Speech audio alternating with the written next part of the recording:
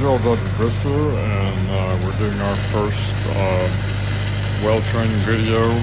You'll notice that we have uh, put up a pup.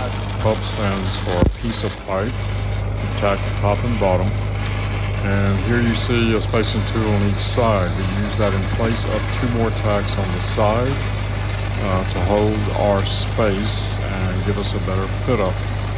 If you put two tacks instead of four, uh, you eliminate half your welding problems. Uh, if you're a welder or you're going to learn, if you're a new welder, that time in and coming out of a tack is where you have your most trouble. So two tacks eliminates half of those problems, half of the tie-ins you have to make. Now I fitted this up. This is 250 wall pipe. It's a quarter inch. That's a little bit thin. They make thinner pipe. They make 188 etc. wall. And it's a little bit like welding a beer can if you're used to mainline. I fitted it up so the top half of this joint, both top quarters, is a little too wide. It's not a good fit up. And I did that so you could see and hear what it sounds like to uh, make that weld. You'll notice the sound uh, changes. I am pulling away with that rod a little bit. I'm coming back, putting a little metal, pulling away. We call that stepping or stitching. A little bit when you weld, like when you weld flat, and move ahead a little bit and come back. Sound is very important. I, am going to be saying it a lot during this uh, training. Listen to the sound. Learn what the sound sounds like, and you will know what's going on inside. Now Daniel here is here helping me now. He's uh, he's been a welder for a good while now, but he's come here to help me.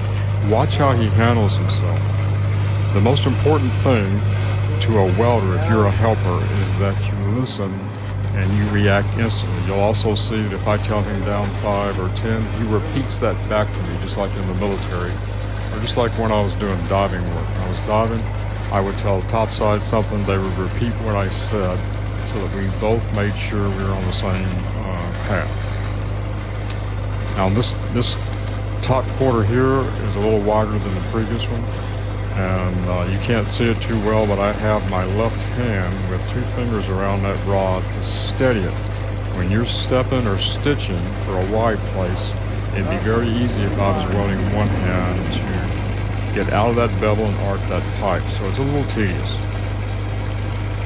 Now you saw Daniel hand me a rod while I was still welding. That's not uh, that's not a video trick.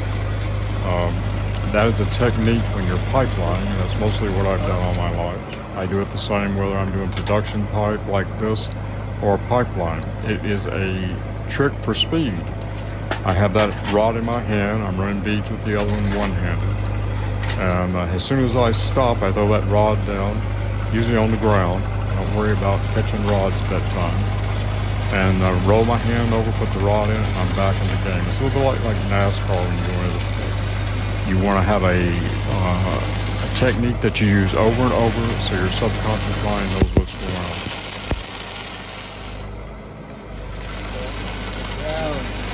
And you see this is a little wide right here. I'm having to get out of the puddle, break the arc, let it cool just that split second, and go back in it.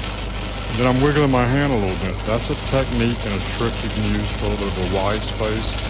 If I wiggle that rod side to side, it turns the rod where it catches one side of the bevel and then the other. It helps bridge that gap.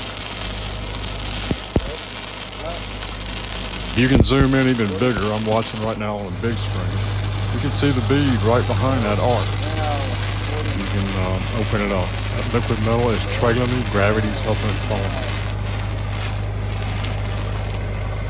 The fastest way to weld is you start off on that top where my hand is. Start off kind of medium. You get going and you can kind of tell you're okay. You kick the heat up. As you come down that side, you kick the heat up more and more. Your fastest straightaway to weld pipe is in the side vertically. If you put a square around that pipe and do an imaginary box, you would have flat welding, vertical welding, and overhead. As you get off that top, come down the side, that metal's to follow you, and gravity's going to help you. Now this fit up here, this space is a good space. Listen to the difference in the sound. And uh, you can tell the difference in a good space and a bad space. You'll notice that I have my leg stretched back, left leg, right knee, handle the pipe has three points of contact, and that allows me freedom, one hand weld. We call that rubbernecking, and if you don't have to put a mud board down, for every pass and you can learn to weld that way, it will make you faster. And there it is.